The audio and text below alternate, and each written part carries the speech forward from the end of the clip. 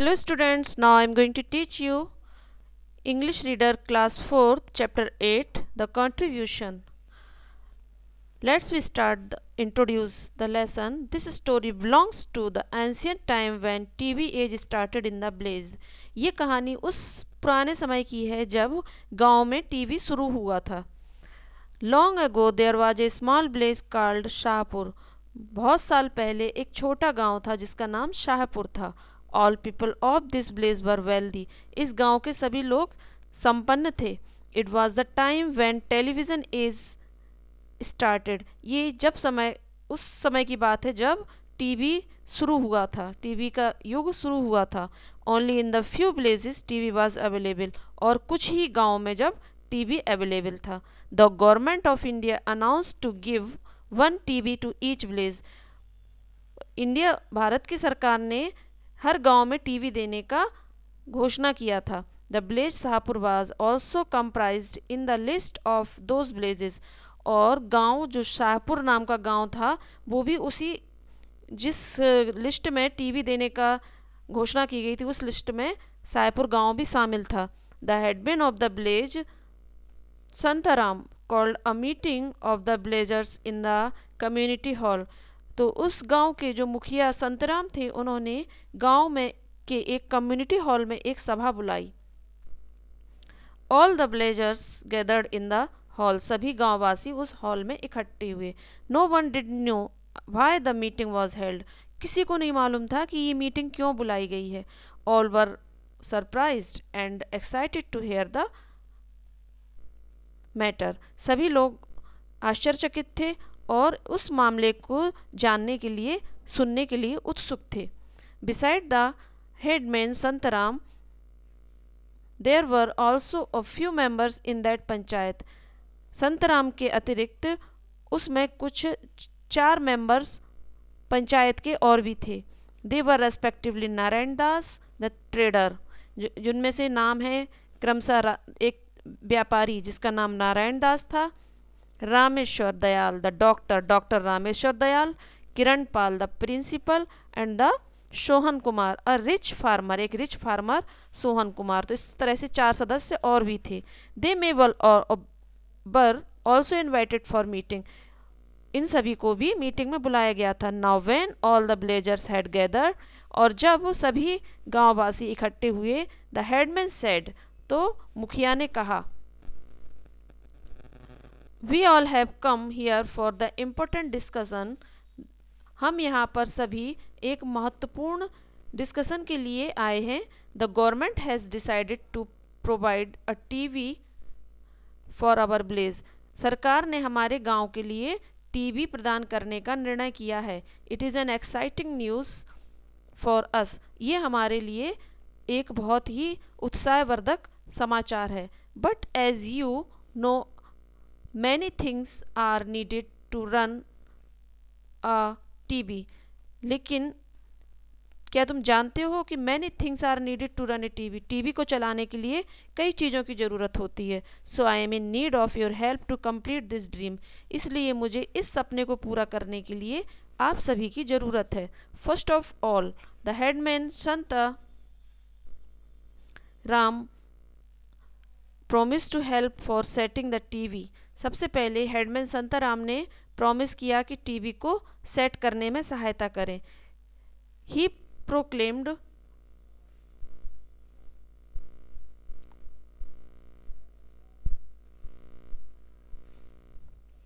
I will bear the expenditure for the power supply और उसने वादा भी किया कि हम पावर सप्लाई के लिए भी खर्च करेंगे। Rameshwar Dayal agreed to spend on the table for putting the TV on Rameshwar Dayal भी एग्री हो गए टेबल टीवी को रखने के लिए टेबल पे खर्च करने के लिए भी। Kiran Pal and Sohan Kumar decided to give money for the purchase of antenna और किरण कुमार और सोहन कुमार ने एंटीना खरीदने के लिए पैसा खर्च करने का निर्णय किया। But Narayan Das was quiet still लेकिन नारायण दास शांत थे। He did not want to give any money for anything वो किसी भी चीज़ के लिए कोई भी पैसा नहीं देना चाहते थे। ही वॉज़ माइजरेबली थिंकिंग और वो कंजूसी से सोच रहे थे why should I give any money कि मैं पैसा क्यों दूँ? Why did not they ask the villagers for the amount ये गाँव वालों से क्यों नहीं कहते हैं पैसा मांगने के लिए? इन्हें गाँव वालों से कहना चाहिए। The headman ask Narayan Das for the arrangement of six chair in the TV room for the VIP person headman ने नारायण दास से कहा कि तुम छः चेयर का इंतज़ाम करो वी उस टीवी रूम में वीआईपी पर्सन के बैठने के लिए ही अनबिलिंगली नोडेड हिज हेड उसने अनिच्छा पूर्वक अपना सिर तो हिला दिया।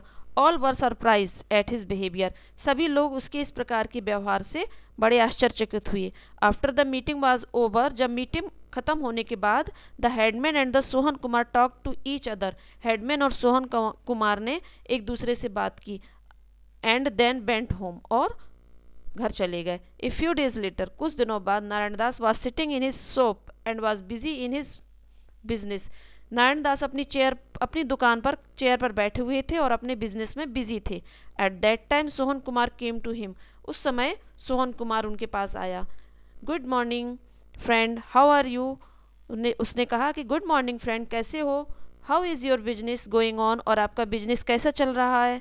नारायण देश रिप्लाइड नारायण दास ने रिप्लाई किया good morning I am quite well but today how did I you get time to meet me उसने कहा गुड मॉर्निंग मैं अच्छा हूँ, लेकिन आज how did you get time to meet me तुमने आज मुझसे मिलने का टाइम कैसे निकाल लिया? I am happy to see you here मैं तुम्हें यहाँ देखकर बहुत खुश हूँ. Sohan Kumar smiled and said Sohan Kumar मुस्कराया और बोला here is good scheme for you to double your money कि हमारे पास एक गुड स्कीम है कि अपना पैसा दुगना कैसे किया जाए? I have invested two hundred rupees at your name मैंने दो सौ रुपये तुम्हारे नाम में इन्वेस्ट कर दिए हैं. And how it became four hundred अब ये चार सौ रुपये कैसे हो जाएँगे? Here is a profit of two hundred rupees यहाँ पर दो सौ रुपये का फ़ायदा है. I came to give it to you मैं तुम्हें यह दे दूँगा. टेक इट प्लीज़ इसे आप ले लो.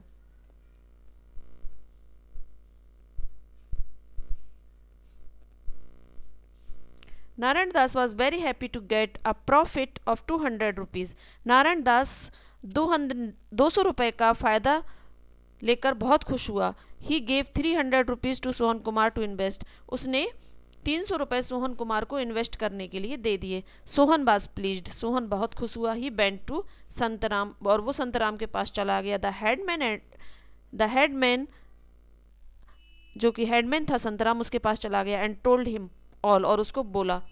Both started discussing some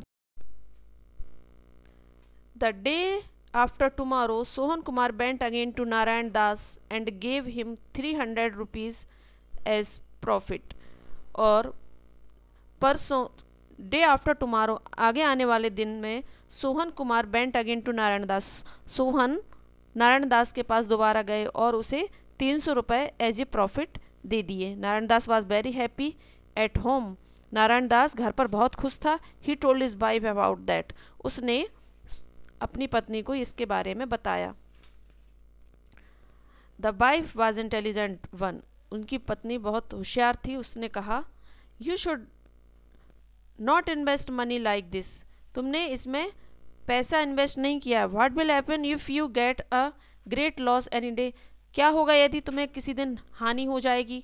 But Narayan Das was not interested in her talk so not ate the food and ban to sleep सो लेकिन नारायण दास उसकी बात को सुनने के लिए इंटरेस्टेड इंटरेस्टेड नहीं था so he ate the food इसलिए उसने खाना खाया एंड बैंड टू स्लीप और सोने के लिए चला गया। Next day Narayan Das gave six hundred rupees to Sohan Kumar to invest Narayan Das ने सोहन कुमार को छः सौ रुपये इन्वेस्ट के लिए दिए but he was unknown to what will happen to him लेकिन उसे नहीं पता था कि अब उसके साथ क्या होगा। After four days Sohan Kumar came to his चार दिन बाद सोहन कुमार उसकी दुकान पर आया हैंगिंग इज़ हैड हा, अपने सिर को हिलाते हुए what happened ask Narayan Das Narayan Das ने कहा, क्या हुआ? Here is some bad news for you said Sohan Kumar Sohan Kumar ने कहा आपके लिए एक बुरा समाचार है। Tell me what's what is it I am ready to hear it उसने कहा, मुझे बताओ, क्या हुआ? मैं सुनने के लिए तैयार हूँ सेड नारायण दास एक्साइटेडली नारायण दास ने उत्सुकतापूर्वक कहा, You have lost your 600 rupees as the same market came down तुमने छः सौ रुपये का लॉस कर दिया है, क्योंकि मार्केट आज केम कम हो गया है। Said Sohan Kumar pretending to be serious and said अब सोहन कुमार ने बहाना सीरियस गंभीर और दुखी, दुख, दुखी होने का बहाना बनाते हुए कहा ओ no Narayan Das exclaimed in sorrow putting his head between his hand Narayan Das ने भी अपने हाथ को अपने सिर पर रखते हुए दुख प्रकट किया। I am sorry friend but what can I do for do in it said Sohan Sohan ने कहा, मुझे बड़ा दुख है, लेकिन अब मैं कर भी क्या सकता हूँ इसके लिए? Trying to hide his smile and went back अपनी स्माइल को छुपाते हुए वो वापस चला गया। The day of the setting of T V had came अब टीवी को सेट करने का दिन आ गया था। All villager and panch were gathered in the community hall and again सभी गांववासी और पंच कम्युनिटी हॉल में दोबारा से इकट्ठे हुए द हेडमैन सेड हेडमैन ने कहा as you know today is the day of installation of TV for all क्या आप जानते हैं कि आज टीवी का इंस्टॉलेशन का दिन है सभी के लिए? All the panch have contributed for it सभी पंच ने इसके लिए अपना अपना योगदान दिया है। The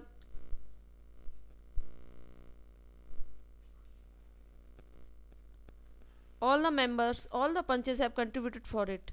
He announced the contribution of each members of the panchayat उसने सभी पंचायत के सभी सदस्यों का जो कंट्रीब्यूशन था टीवी सेटिंग के लिए, उसकी घोषणा की। Now Narayan Das was thinking that it was be good if he could make some contribution Narayan Das अब सोचने लगा कि कितना अच्छा होता कि वह भी अपना कंट्रीब्यूशन लगा देता कुछ। He hanged his head shamefully उसने शर्म से अपना सिर को झुका लिया। But then then headman said तब हेडमैन ने कहा our dear friend Narayan Das contributed six hundred rupees for it जब उसके मित्र हेडमैन ने कहा कि नारायण दास ने छः सौ रुपये का योगदान दिया है so give a big hand to him इसलिए सभी लोग इसके लिए तालियाँ बजाएँ। All the villagers clapped for Narayan Das सभी गाँव वासियों ने नारायण दास के लिए तालियाँ बजाई। Narayan Das was surprised as this Narayan Das भी इसके लिए बहुत ही आश्चर्यचकित हुए। He looked at Santram and Sohan Kumar with grateful eyes उन्होंने संतराम और सोहन कुमार को बड़ी ही कृतज्ञता पूर्वक निगाहों से देखा। Now this chapter is finished and you should do all the exercises work word meaning and question answer word meaning and question answer you should do in notebook and exercise work you should do in book thank you